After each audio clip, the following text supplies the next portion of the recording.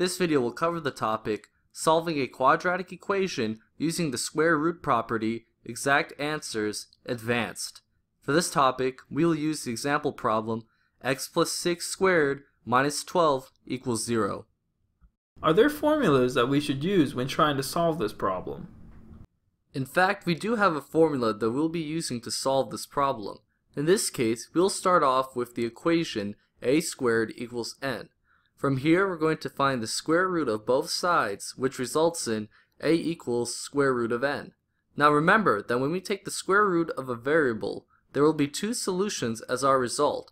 This means that our results are a equals positive square root of n and a equals negative square root of n. How will this method apply to solving the problem? We will use the same principles as with our last example in order to solve this problem. For our first step, we will add 12 to both sides in order to move 12 to the other side of our function. This results in x plus 6 squared equals 12. Next we will square root both sides, which results in x plus 6 equals positive or negative square root of 12. Next we will simplify our square root. We can break down 12 into 4 times 3. Since the square root of 4 is 2, this means that our square root can be simplified to 2 times square root of 3. We now have x plus 6 equals positive or negative 2 times square root of 3.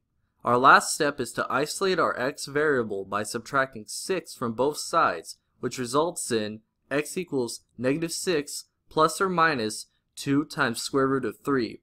This results in our final answer of x equals negative 6 plus 2 times square root of 3 and x equals negative 6 minus 2 times square root of 3. Is there a case where we will have a problem that contains a number that is a perfect square? In this topic, you will encounter some problems that contain perfect squares. One example of those type of problems would be y minus 9 squared minus 36 equals 0. We will start off the same way we started off with the last problem, by adding 36 to both sides in order to move 36 to the other side of our function.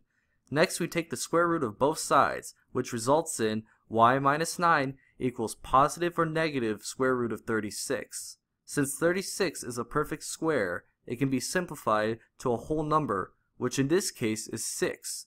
This results in y minus 9 equals positive or negative 6.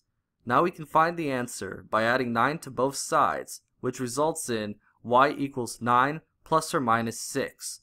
Our final result is y equals 9 plus 6, which equals 15, and y equals 9 minus 6, which equals 3.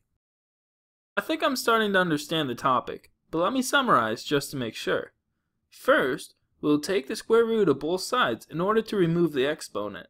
Next, we will simplify our square root and then we will isolate the x variable in order to find our final answer.